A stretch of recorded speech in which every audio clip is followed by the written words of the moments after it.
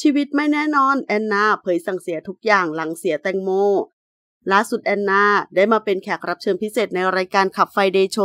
ซึ่งในบางช่วงบางตอน พิธีกรได้ถามแอนนาว่า เป็นเพื่อนกับแตงโมมานานมาก แอนนาบอกว่าตั้งแต่เรียนมหาวิทยาลัยปีแรกค่ะ เวลานั่งเรียน แอนนาจะนั่งอยู่หลังสุด โมเขาเดินเข้ามาแล้วก็แหวกแวกบอกว่าขอนั่งด้วยนะ โมเขาก็รู้ว่าเราไม่ค่อยมี โมเขาก็จะ support เราว่าวันนี้เธอมาช่วยฉันนะ ฉันให้เธอห้าร้อยเวลาไปกินข้าวบางวันเราไม่มีเงินอย่างนี้ เราก็พูดตรงๆ สมัยก่อนเราจนมาก โมเขาก็จะบอกว่าเอาไป 200 บาท ไปซื้อกับข้าวมา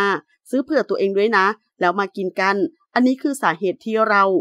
อันนี้คือสาเหตุที่ทำให้เรามีวันนี้ซึ่งกันและกัน เราก็ดีกับเขา เพราะเขาเคยดีกับเรามาก่อน พิธีกรถามอีกว่าสำหรับการใช้ชีวิตของแอนนาตอนนี้ แตกต่างไปอย่างไรบ้าง หลังจากที่เราสูญเสีย โดยเฉพาะสูญเสียเพื่อนรักอย่างน้องแตงโมแอนนาบอกว่าก็พยายามบอกรักคนรอบตัว เรารักใคร หรือว่าเราไม่ได้กอดแม่เลยมานานมากเป็นสิบปี ตอนนี้เราก็กอดแม่บอกรักแม่ แล้วถ้าแต่ก่อนเรามีอะไรในใจ